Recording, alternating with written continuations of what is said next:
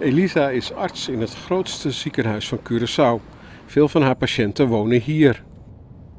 Dit is een van de, van de wijken van Curaçao waar je weinig toeristen zal vinden. Dit zijn wijken waar heel veel mensen wonen, waar ook heel veel vluchtelingen wonen. Er wordt geschat dat er tussen de 10 en wel tot 25.000 hier op het eiland zitten.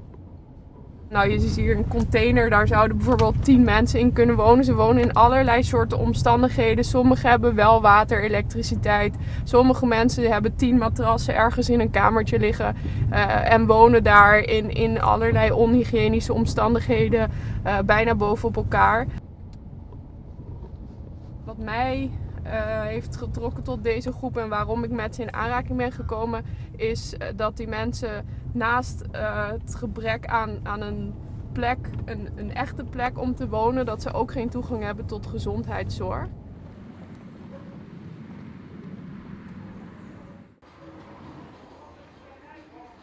Een van de patiënten van Elisa is Ruth, een politieke vluchteling uit Venezuela. Ze verblijft illegaal op Curaçao. Ze woont in armoede, heeft geen stromend water en geen ziektekostenverzekering. Af en toe is er stroom.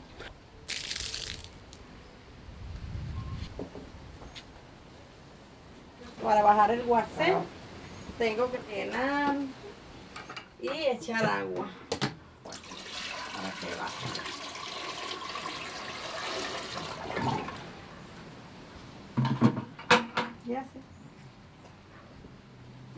Begin dit jaar werd ze ziek en was een operatie onvermijdelijk. La barriga se fue poniendo grande, roja. Me recomendaron un doctor acá, que no voy a decir el nombre porque fue el que me ayudó prácticamente clandestinamente. Me dijo que, que él operaba en el hospital, pero la operación me salía en 4.800 florines. Y yo le dije que yo no tenía ese dinero porque yo estaba en condición aquí de prácticamente con un asilo, pero prácticamente inmigrante, porque no tengo, no tengo acceso a trabajo, no tengo acceso a nada. Y bueno, él me dijo, ¿aceptarías una operación local?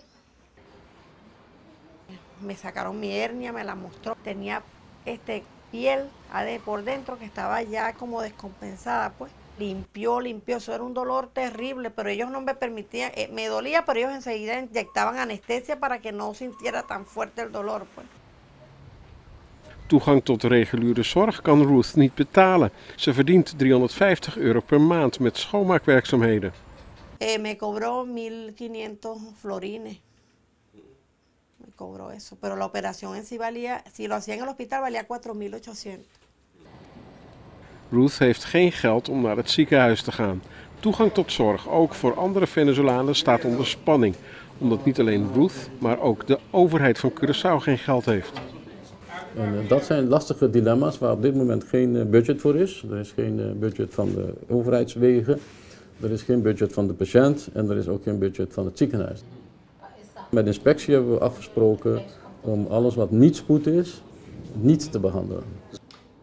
Maar niet behandelen betekent de problemen voor je uitschuiven. Los van dat niet behandelen voor artsen eigenlijk geen optie is. Daarvoor is de eet niet afgelegd. Het beste is natuurlijk dat je niet start met de behandeling.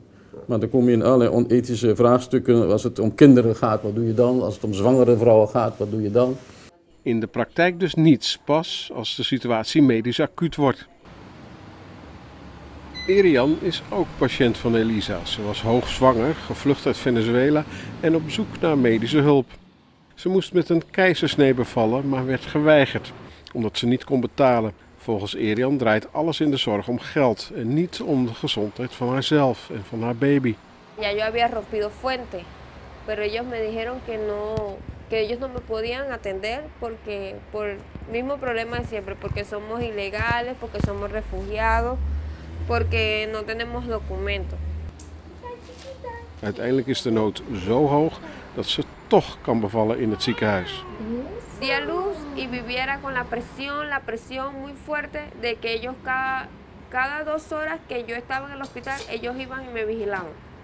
Las señoras de administración bajaban, iban hasta donde yo estaba, llamaban a mi esposo, le decían que tenía que cancelar, que tenía que cancelar, que tenía que abonar algo, que tenía que Y mi esposo les decía que cómo si él no tenía más dinero.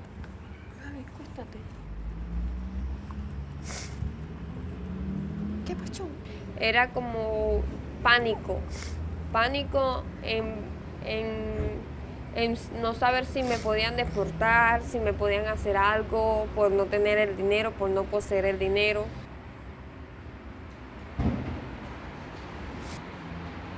Elisa trekt zich het lot van de Venezolanen aan.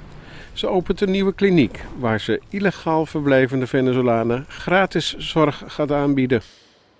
Iedereen heeft een bazaal recht om zorg te krijgen. Onafhankelijk van of ze nou hier, ja, zoals ze zeggen, legaal zijn of illegaal zijn.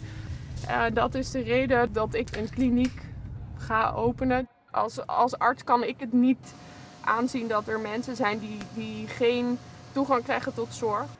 Nou, alles doet het. De opening van de nieuwe kliniek is een eerste stap om ook Venezolanen medische zorg te bieden. Ik ben iedereen heel dankbaar voor de, voor de hulp die geboden is. Ehm, en ja, nu mag het eh, beginnen. Justitie heeft beloofd de illegale Venezolanen in en buiten de kliniek met rust te laten.